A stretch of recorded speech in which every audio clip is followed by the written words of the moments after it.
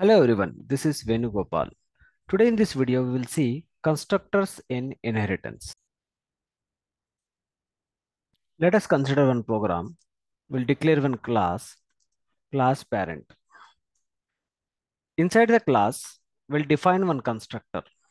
So to define constructor, we use the keyword def underscore underscore init underscore self. Here I'll print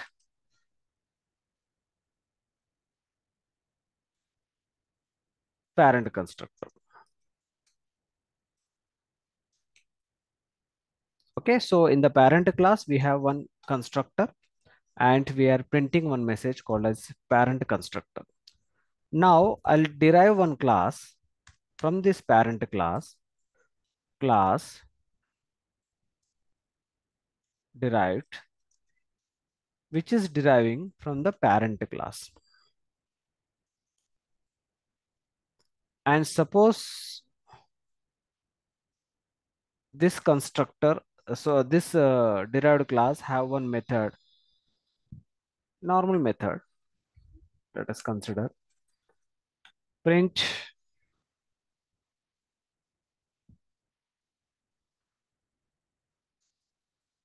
it's a show method or it's a derived class. It's a method from derived class. So basically we have only one constructor that is parent constructor. We have derived one class which is derived from the parent class. And in the parent in the derived class, we have one method, right? We don't have any constructor in the derived class constructor. Now let us make, let us create an object of derived class d equals to derived. That's it. Let us call first this function. What happen we'll see. If we execute this program, so generally, whenever we are creating the object, the constructor of the respective class will be executing, right? But here we do we, we are not having any constructor in the derived class, right? So in that case, this will execute the parent class constructor. Let us check. Right click and you can see the output. Okay, so it is executing the parent class constructor right? So derived class, when that means what? What is the conclusion? If if parent class has one constructor, but derived class is not having any constructor, then in that case, whenever you are creating the derived class constructor, then it will search for the constructor in the derived class construct uh, derived class first. If it is not available, then it will by default, it will execute the parent class constructor. Now the show is not executed because it is a function. If you want to execute the show function, you have to call the function explicitly. If I'll execute, it will give the second message. So this is what uh, whenever a parent class having the constructor. Now, suppose instead of this function, we have one more constructor, derived class constructor. So we are defining one more constructor in the derived class constructor. Now this always the self represent that this constructor belongs to derived class and this self belongs to this constructor belongs to parent class. Okay, so in this I'll print one message. I'll write a child class or derived class constructor. Now what we will do, constructor. Fine. Now again, same program, but in this case, whenever we are creating the object of the derived class constructor, obviously it will search for the zero argument constructor.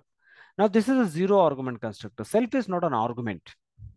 Okay, so it is a zero argument constructor. So it will check whether any constructor is available in the derived class. If it is then, then it will execute the derived class constructor only.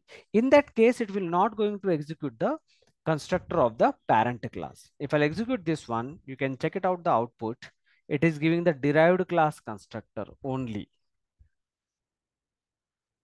Okay, now, suppose in this case, if I want to execute, before executing the derived class constructor, I want to execute the parent class constructor.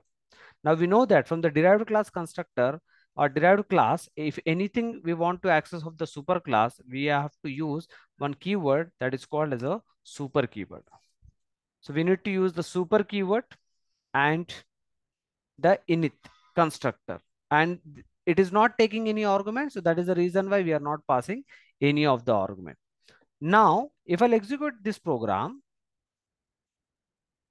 you can observe that derived class construct object is created. So it, it is going to the execute the derived class constructor.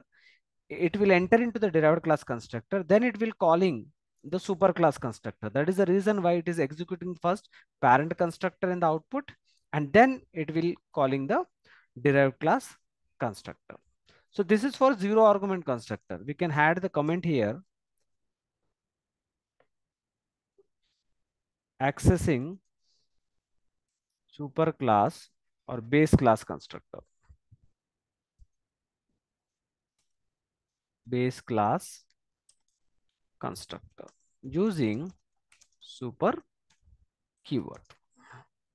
This is one technique. If you want to access, you can have one more option by taking the parent class name. Parent dot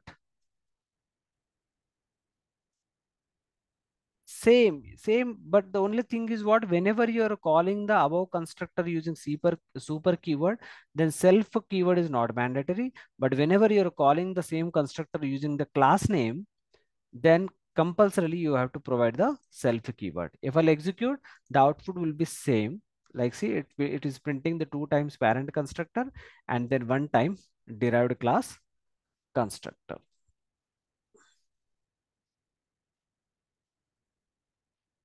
So that's it. And one more thing, uh, I would like to add something. Suppose it is a parameterized constructor name.